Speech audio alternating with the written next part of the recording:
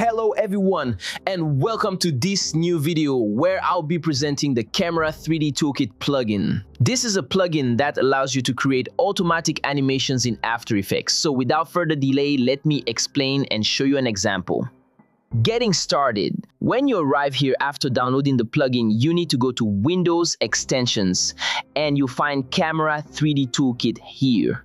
Click on it and it will open the window displaying Camera 3D Toolkit. As you can see, this plugin is completely responsive. For example, we can reduce the window size and we can also dock it here which will display everything properly.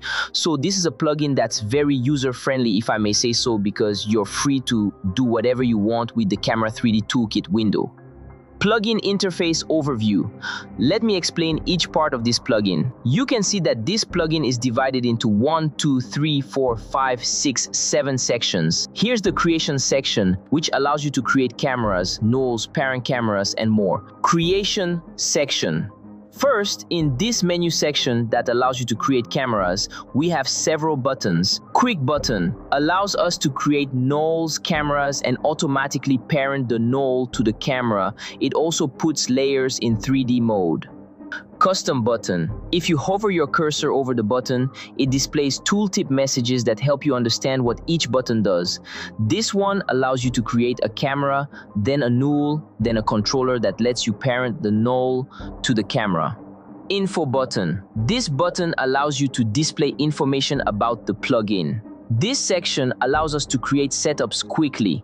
Practical example. Let me try an example. I have several layers on my timeline that are currently selected.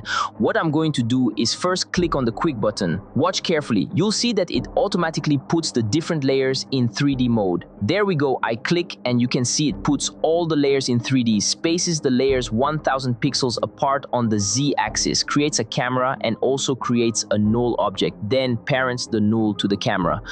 That's what this button does. Spacing controls. Of course, you can select the different layers to adjust the spacing between them. For example, on the z-axis or x-axis, you can see if I move the slider a bit, it automatically creates spacing based on the number of pixels you choose. You can choose whatever number you want. For example, I can choose 5000. You'll see it's 5000. I can choose 500.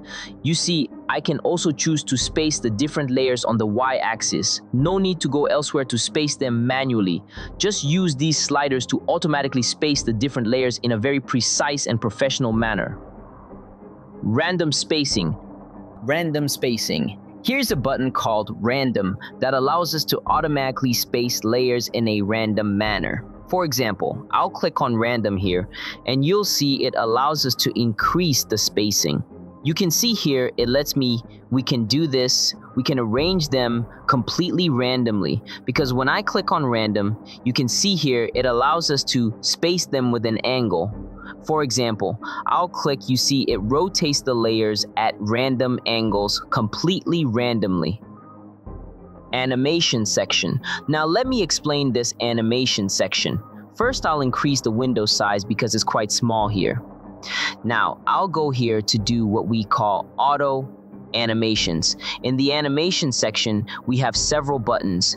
You should know that this plugin acts like a real camera in real life. You know there are several types of camera movements. There's pan, there's tilt, and there are also traveling movements. Camera movements. Let me take an example with you. What you need to do is first select the null. I'll go here first. You can see here that there are several buttons pan movement, creates panoramic movement, tilt movement, creates tilt movement, roll movement, creates roll movement, traveling movements. These are traveling movements, vertical traveling up, vertical traveling down, horizontal traveling left and right, forward and backward movements. We also have sliders that allow us to create movements precisely. For example, if I click on this button, which is the traveling pan movement, you'll see it creates a panoramic movement of about 25 degrees. Let me first press U to display the keyframes. You can see here that keyframes are displayed about two seconds apart. Why two seconds? Because this controller here controls the timing between different movements. For example, if I set the controller to four, you'll see the movements will be spaced four seconds apart, custom movements. I can use the slider to make a panoramic movement of, for example, about 90 degrees. Panoramic control ranges from 0 to 360 degrees. If I want to make a 90 degree movement, you'll see I'll add 90 and it automatically creates that movement. Then I can make a roll movement of, say, 45 degrees. You just need to apply it and it will display the movement. You can see here, when I move the playhead, it automatically adds keyframes according to the automatic function, creating smooth camera movements. Target movement feature. Let me show you another example. I'll delete the keyframes to show you something else. I'll delete the camera and reset. I'll click quick again to set up automatically so you can understand how this works. You can see here, if I make a movement, you can see it moves smoothly. You see it creates fluid movement with automatic keyframes in a very smooth manner. The target function. After that, we can choose a movement, but the thing I love most about this plugin is the target movement feature. Let me explain how it works. For example, I have layer 4 here. Let's say I want the camera to automatically move toward layer 4. What I need to do is simply click on that layer. Then click on target here. You see the camera will automatically move to a layer 4 of course, we can display the keyframes. If I want the camera to move to a layer 4 again, I click on layer 4, I click on target and it automatically creates keyframes. You see it automatically move to a layer 4. I can choose layer 4. For example, I click on target and it will automatically display that layer. Now you see the complete animation with beautiful parallax movement. You can see that we can do many many things with this smooth motion with overlap. Now you can see here that the movement isn't very fluid. You see it's jerky. To make it appear much smoother, we can use overlap movement. To do this, you simply select the null, then click on what's called overlap. When I click on overlap, you see what happens. It creates automatic overlaps where each null follows its predecessor as if each one controls a movement you see each keyframe is offset by about 15 frames from the other. Now there will be extremely fluid movement without the camera stopping. You see it's much smoother.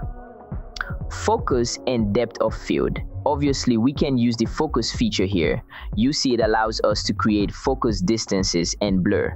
It allows us to create depth of field and configure the depth of field parameters.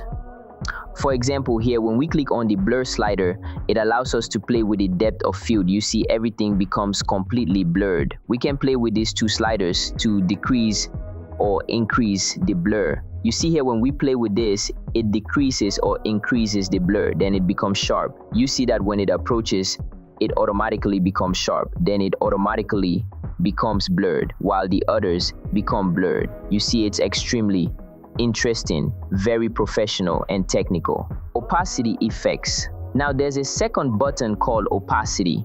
This is for opacity. What this does is decrease or increase the opacity of layers based on their distance from the camera and rotate.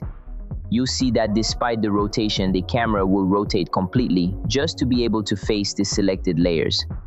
First, I'll click on a layer then I'll click on target to send it the displays completely. It's extraordinary. Now I'll click on another layer. Then I click on target. You'll see it will rotate so that the camera is exactly facing the selected layer. I'll look, this creates very fluid movement. After that, you need to add motion blur, which you can see here. You need to activate motion blur, but I haven't activated it, so the movement isn't jerky because it takes a lot of resources. Now I'll activate the blur. You'll see what happens when we activate blur. It creates some blur. The other layers that aren't close to the camera have become very blurred. Let me explain what opacity does. Opacity allows us to decrease or increase the opacity of selected layers based on their distance from the camera. First, we select the different layers we want to apply opacity to.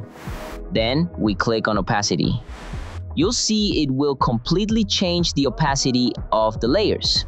You see it automatically decreases. You can see that layers disappear, but when you animate, you'll see that the layers are still there, even if they're not visible. Ladies and gentlemen, let me show you this section called Speed and Shake. Let me explain what this Speed and Shake section does. This is one of the most important sections of this plugin. When you get here, you can choose different presets you want. There are many. There are many behind normal ones. You can choose what you want. You do it like this and click on the no. Then you apply. You'll see it creates camera shake movement. You can increase or decrease the frequency. For example, I'll apply it right away. You'll see it increases automatically. For example, we can decrease the frequency, I'll apply it. You'll see the frequency is the number of shakes per second. The amplitude is the intensity at which the layers shake. Now I'll delete all these layers and take another example to demonstrate how this section works. Let me quickly take this example to explain the speed and shake section. I want to animate this map. For example, it's very simple. I'll first click on quick after that, you just click on the map, then we simply move to where we want to go. For example, to the United States, then we click on target. You'll see how we can move again via target. We want to go here to Niger. We click on target. You'll see that in just a few seconds we managed to animate a map. After doing that, you need to click on I should remember then you simply click on SR. Then you click on trace if you want to add a trace. You'll see we can change the color of the trace. For example, I'll choose a white color. You'll see, it's very interesting that with one click, you manage to animate. You can also play with the depth of you can also play with the depth of field, simply to make sure that things that aren't close to the camera are a bit blurred. You'll see that in just a few seconds, we can do many things with this plugin. It's about $59. The plugin is available now and you'll find the link here. In a week, it will be $89, I believe. But for now, I'm giving you the plugin for $59. Thank you for watching the video and tell me what you thought. Did you like the video? I'll see you soon. Thank you.